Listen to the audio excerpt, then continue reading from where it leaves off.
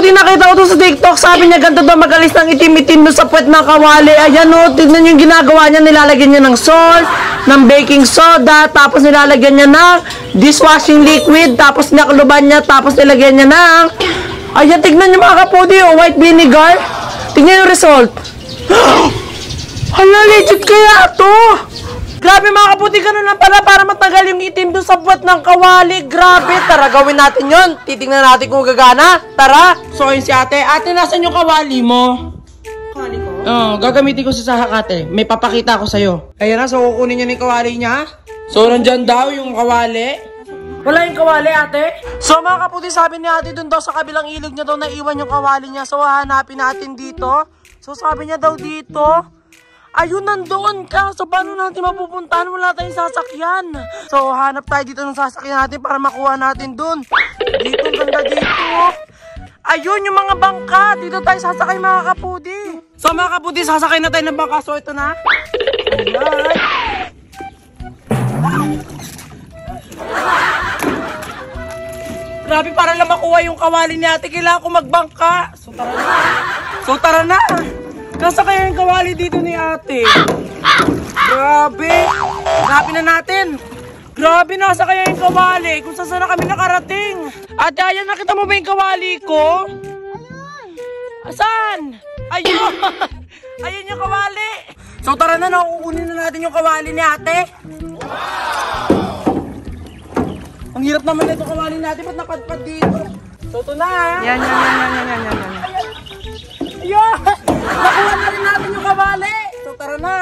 Grabe, ang hirap na ito makuha. So mga kabudi, papunta na tayo dun ulit. So nakuha na natin itong kawa kawali natin na maitim ang puwet. So tara na. So mga kabudi, so nandito na tayo. So bababa na tayo, no? So tara na. So tara na no, grabe, lahat na naras na itong kawalin to. Ito. Napakadami activities dito sa Dakavin. Grabe, pumunta na kayo dito. Hoy, tulungan mo ako! Ay! so tara na ha. Grabe, nakakapagod pala to.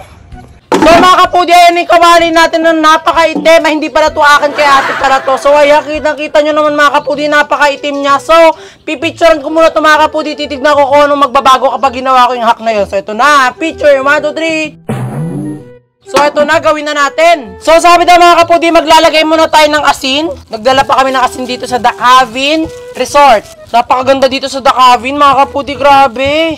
So ayan, ito yung asin natin. Tapos, ibubudbud daw natin dito sa kawali. Ayan. Amin sumasin natin.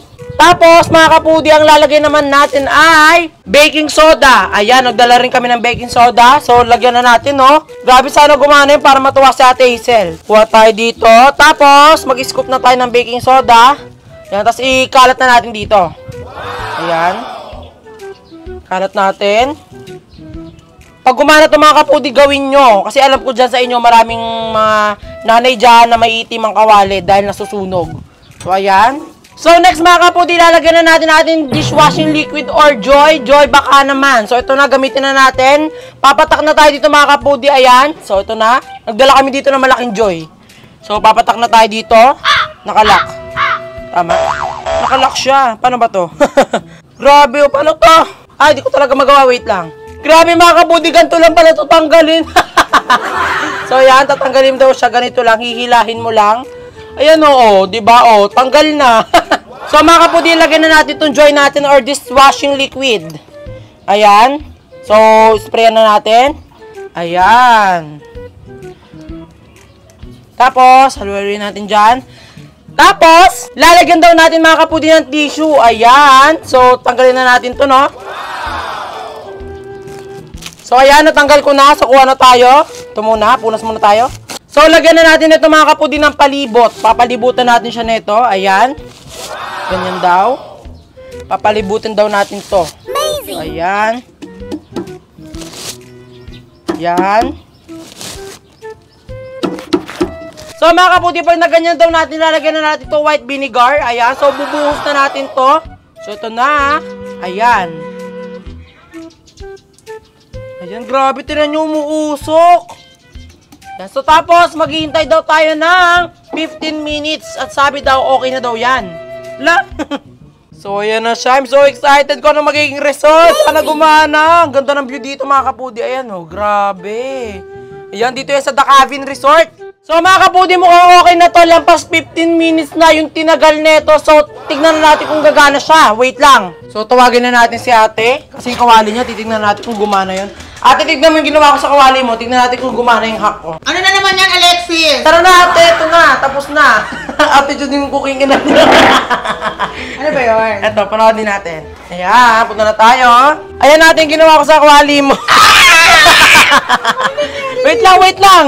Wait lang, ito na ipapakita na natin. So, ito na mga kaputi, tatanggalin na natin. And one, two, three, four. So, ito na. Ano?